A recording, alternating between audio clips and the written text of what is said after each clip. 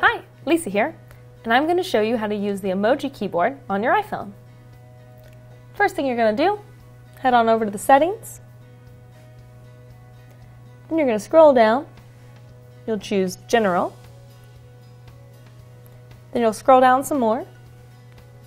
And you're going to pick Keyboard. Now in here you have options at the top, and then underneath that you'll see keyboards. And most people have one. You may have two or three if you use other languages. But this is where we're going to tap to find the emoji keyboard. Now, we just see English here. So you tap on Add New Keyboard. And then we want to look through. They're in alphabetical order.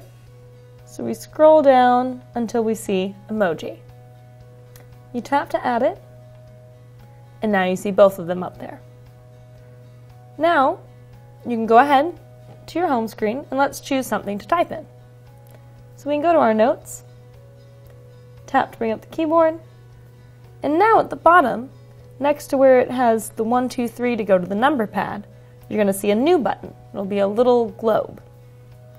You're going to tap on that, and it will give you the whole emoji keyboard now. You have lots of tabs at the bottom for different kinds of icons. You can pick whichever ones you like and put them right in. And that's it. That's how you use the emoji keyboard on your iPhone.